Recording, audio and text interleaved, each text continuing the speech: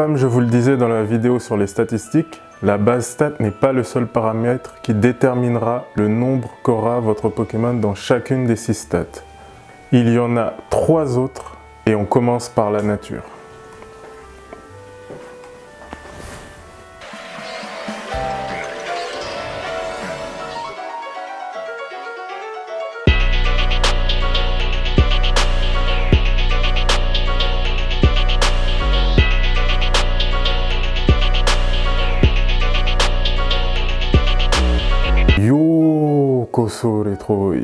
Ici le professeur Ryusko en direct du Bourtube. J'espère que vous êtes d'attaque car sans plus tarder, on va commencer avec le cours sur les natures. La nature est une caractéristique, un trait de caractère propre à chaque Pokémon. Deux Pokémon de la même espèce n'auront pas forcément la même nature, mais deux Pokémon de deux espèces différentes peuvent avoir la même nature.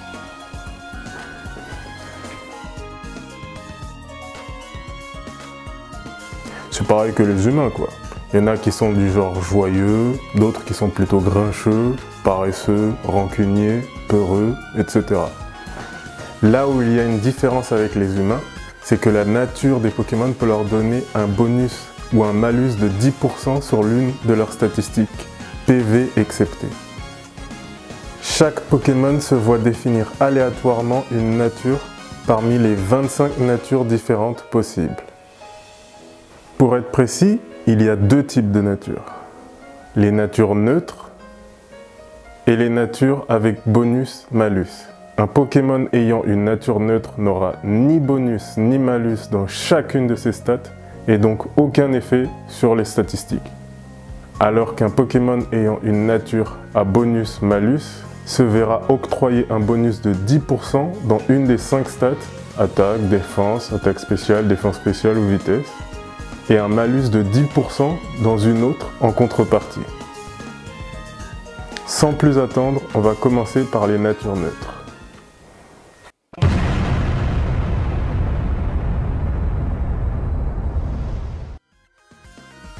Les natures neutres sont au nombre de 5. Il y a la nature bizarre, docile, hardi, pudique et sérieux.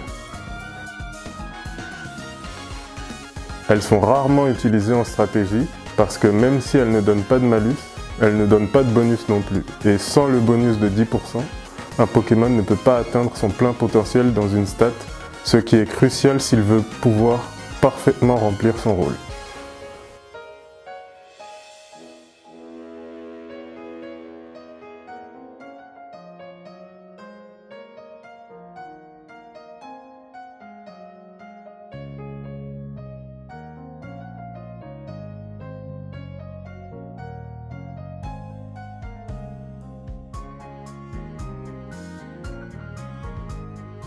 Surtout que la plupart du temps, un Pokémon offensif comme défensif a une de ces six statistiques qu'il n'utilise pas.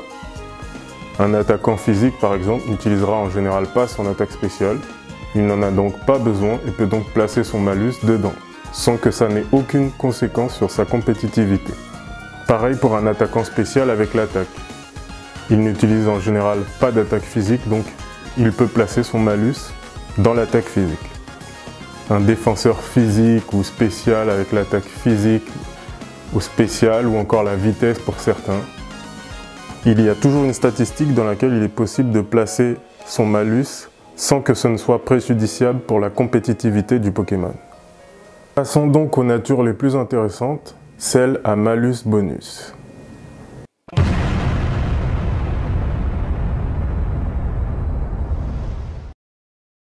Pour que ce soit plus structuré et plus facile à retenir, on va les classer par groupe en fonction du bonus qu'elles octroient. Je mettrai également leur nom en anglais parce que vous serez amené à jouer sur Showdown si vous devenez des bons stratèges, or le jeu est en anglais. Ça vous permettra de ne pas être déboussolé. Pour les natures qui boostent l'attaque, on a la nature Solo ou Lonely qui augmente l'attaque de 10% mais baisse la défense de 10%. Donc ici, le bonus de 10% est en attaque et le malus en défense. Ensuite, on a la nature rigide ou adamante qui augmente l'attaque de 10% et baisse l'attaque spéciale de 10%. C'est typiquement la nature qu'on donne à un Pokémon offensif physique qui ne compte pas trop sur sa vitesse. Ensuite, on a la nature mauvais ou Novi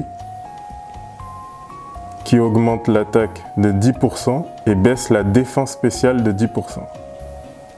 En général, on évite les natures qui baissent les défenses, sauf pour certains Pokémon qui doivent compter et sur leur attaque et sur leur attaque spéciale, qu'on appelle des mixed. Donc du coup, comme ils ont besoin de ces deux stats, on ne peut pas sacrifier l'une des deux et on est obligé de sacrifier dans les défenses.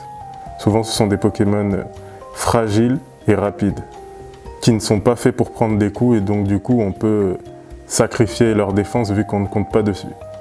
Et enfin, la nature brave ou brave qui augmente l'attaque de 10% et baisse la vitesse de 10%. Donc le bonus en attaque et le malus en vitesse. Parmi les natures qui boostent la défense, on a la nature assurée ou bold qui augmente la défense de 10% mais baisse l'attaque de 10%. Donc le bonus en défense et le malus en attaque. C'est l'une des natures les plus utilisées pour les Pokémon défensifs physiques. Ensuite, on a la nature malin ou impish qui augmente la défense de 10% mais baisse l'attaque spéciale de 10%. Donc le bonus en défense, le malus en attaque spéciale. C'est aussi très utilisé parmi les Pokémon défensifs physiques mais pour ceux qui utilisent leur attaque physique pour riposter. Alors que la nature assurée, elle est utilisée par ceux qui utilisent l'attaque spéciale pour riposter. Ensuite, on a la nature lâche ou lax qui augmente la défense de 10% mais baisse la défense spéciale de 10%.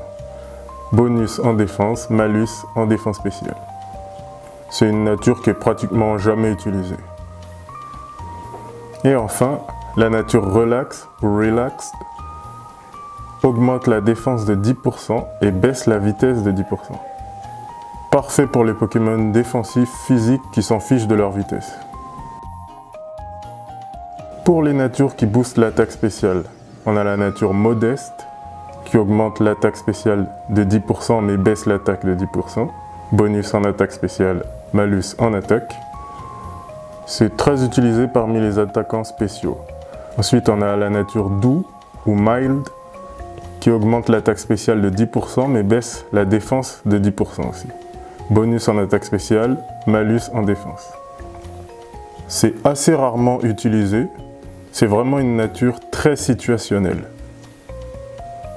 Ensuite, on a la nature foufou ou rush qui augmente l'attaque spéciale de 10% mais baisse la défense spéciale de 10%. Bonus en attaque spéciale, malus en défense spéciale.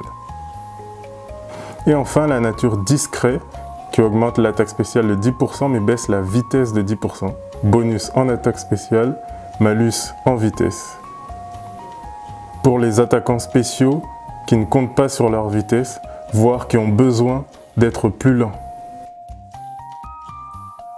Parmi les natures qui boostent la défense spéciale, on a la nature calme, qui augmente la défense spéciale de 10% mais baisse l'attaque de 10%. Bonus en défense spéciale, malus en attaque. Une nature très présente parmi les Pokémon défensifs sur le spécial. Ensuite, on a la nature gentil ou gentle, qui augmente la défense spéciale de 10% mais baisse la défense de 10%. Bonus en défense spéciale, malus en défense. Elle sera très peu utilisée, un peu comme la nature lâche. Parce que augmenter une stat défensive pour en baisser une autre, c'est un non-sens. La nature prudent ou careful augmente la défense spéciale de 10% mais baisse l'attaque spéciale de 10%. Bonus en défense spéciale, malus en attaque spéciale. Elle sera très utilisée parmi les Pokémon défensifs spéciaux, mais qui utilisent leur attaque physique pour faire un minimum de dégâts. Et enfin, la nature malpolie ou sassy, qui augmente la défense spéciale de 10%, mais baisse la vitesse de 10%. Bonus en défense spéciale, malus en vitesse. Ça, c'est plutôt pour les Pokémon défensifs qui comptent pas sur la vitesse ou qui jouent sur distorsion. Pour les natures qui augmentent la vitesse, on a la nature timide qui augmente la vitesse de 10% mais qui baisse l'attaque de 10%. Le bonus en vitesse, le malus en attaque. Comme vous le savez, la vitesse est extrêmement importante pour un Pokémon offensif et on préférera souvent la nature timide qui augmente la vitesse contre l'attaque à la nature modeste qui booste l'attaque spéciale contre l'attaque, sauf dans de rares cas si le Pokémon est trop rapide ou est joué avec un mouchoir chaud. Vous comprendrez plus tard. La nature pressée ou hasty qui augmente la vitesse de 10% mais baisse la défense de 10%. Un talent parfois utilisé pour quelques mixed. La nature joviale ou jolly augmente la vitesse de 10% mais baisse l'attaque spéciale de 10%. Le bonus en vitesse, le malus en attaque spéciale. Il s'agit de la nature la plus utilisée par les attaquants physiques pour les mêmes raisons que la nature timide est la plus utilisée pour les attaquants spéciaux. Et enfin, la nature naïf ou naïve augmente la vitesse de 10%, mais baisse la défense spéciale de 10%. Le bonus en vitesse, le malus en défense spéciale. Elle est parfois utilisée par les mixed pour la même raison que la nature pressée, sauf que c'est la défense spéciale qu'on sacrifie ici.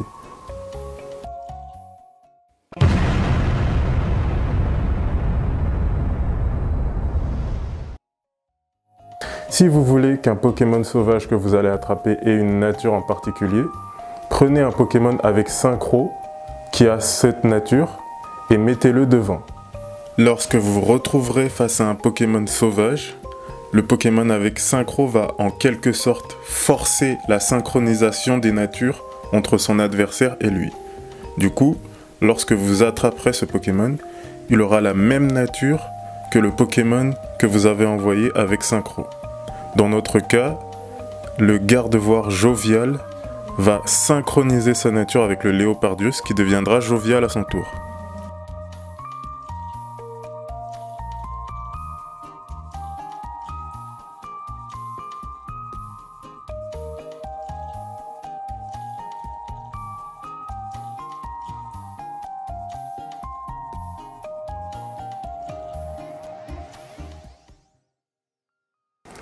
Et voilà, c'est fini pour aujourd'hui.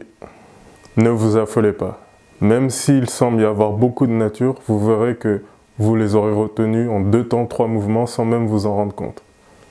Et dans le pire des cas, vous pouvez toujours aller et venir sur cette vidéo pour vous les remémorer. Elle ne va pas s'envoler. Révisez bien vos natures et on se dit à bientôt dans la région de Trop